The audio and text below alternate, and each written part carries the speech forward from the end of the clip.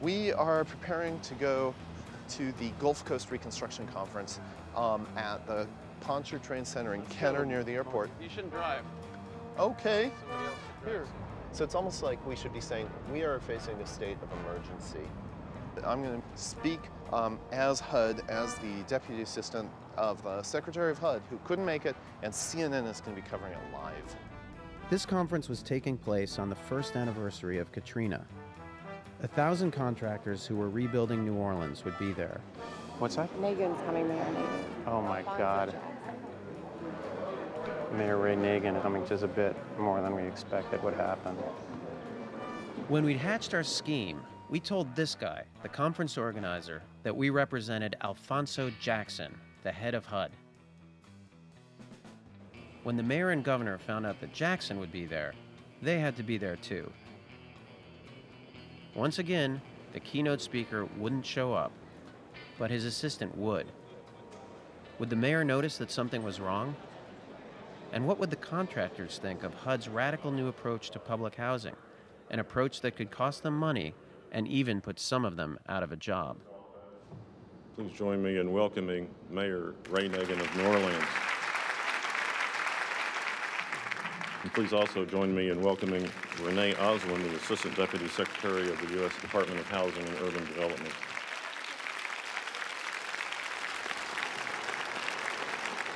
So it's an honor to um, share the stage with our two partners in recovery, with Renee Osmond representing HUD, who's definitely one of our most important partners in this rebuilding effort, and Mayor Nagin of New Orleans, whose challenges are enormous. And I also want to stop and thank Renee, who's here from HUD. HUD has been an incredible, incredible partner with us. We are on the verge of doing some really unique things, some things that we could have never tackled in the city of New Orleans. And now we are poised and positioned to enhance uh, public housing in the city of New Orleans.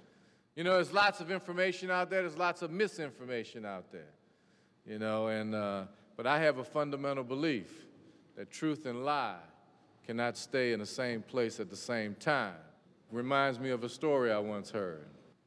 Truth and lie went swimming one day in Lake Pontchartrain. They went skinny dipping, so they laid their clothes on the banks, and they were out there having a really good time.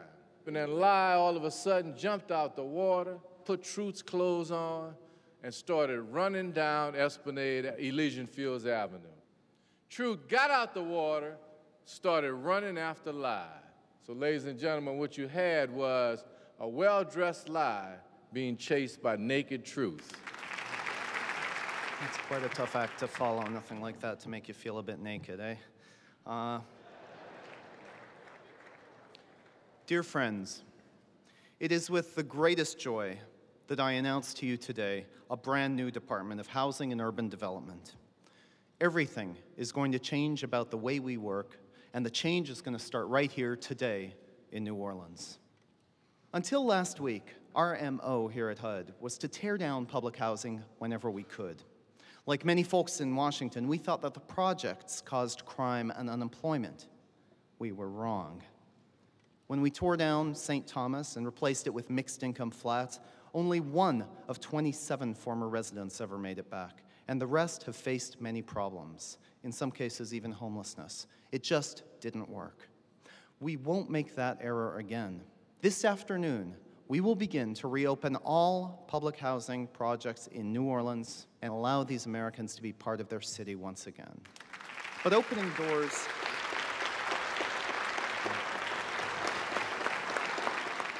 But opening doors won't be enough. As you know, the main reason New Orleans was so vulnerable to Katrina was the destruction of the wetlands. I am very, very, very pleased to announce that Exxon and Shell have agreed to finance wetlands rebuilding from part of the $60 billion in profits this year. As J. Stephen Simon, Exxon Vice President, writes, ExxonMobil is earmarking $8.6 billion from revenues our company has made in this region so as to sure, assure that ExxonMobil never again has a hand in destroying a large American city. Ladies and gentlemen, we will rebuild not just New Orleans, we will rebuild the American dream. please come join us at the Lafitte Housing Complex for a ribbon cutting ceremony immediately after the plenary session. This is what we're all here for, so let's make it happen. Let's bring New Orleans back. I thought it was very uplifting. This has been a big problem. A lot of people want to come home and they have been unable to do so. So I thought it was a very positive uh, message. Well, very encouraging. And what's really encouraging in particular is not only getting people back home and helping them rebuild, but the recognition that we have to deal with Mother Nature and uh, that uh, Exxon is going to make some uh, significant contribution to restore wetlands is it's very encouraging. This was encouraging. When the contractors heard that the government was going to do the right thing, even though it might cost them some business, they cheered. Friedman was wrong. Greed alone didn't rule the world. Hi, uh, what's CBS Radio, WWL? Mind if I talk to you over Absolutely. Oh, okay, thank you. And this time, we'd gotten away with it. Or so we thought. The city and the state both say they've not heard anything about this. This announcement comes as a surprise to the governor's office and the mayor's office.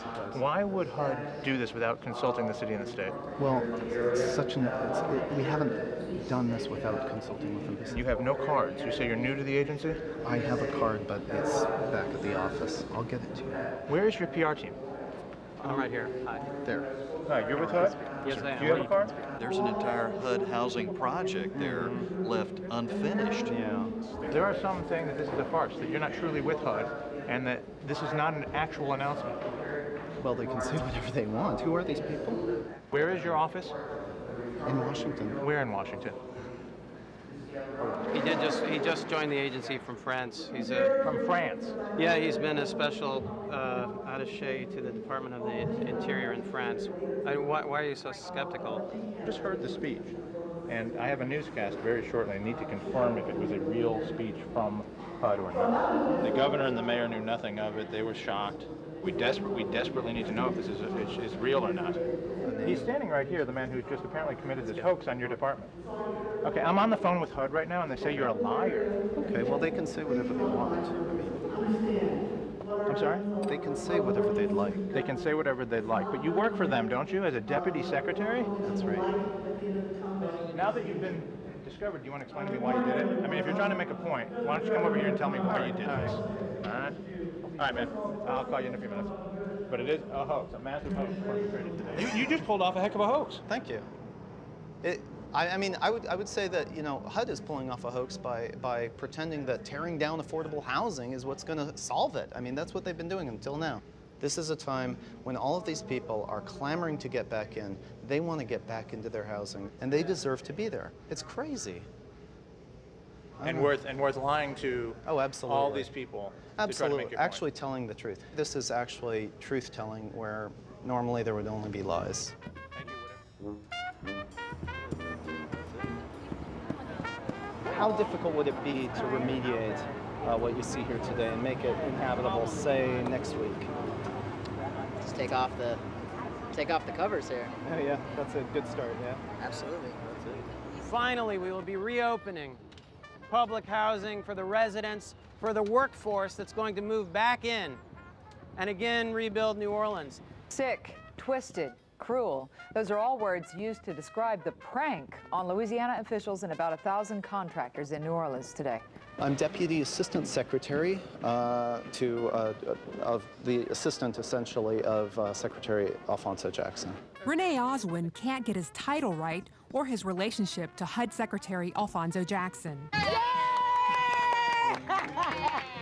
After taking the mayor for a ride, these contractors followed him to a makeshift ribbon cutting at the Lafitte Housing Project. Mr. Oswin, you're not even on the directory of HUD. You're not even listed. You don't even have a phone number. It's come to that, has it?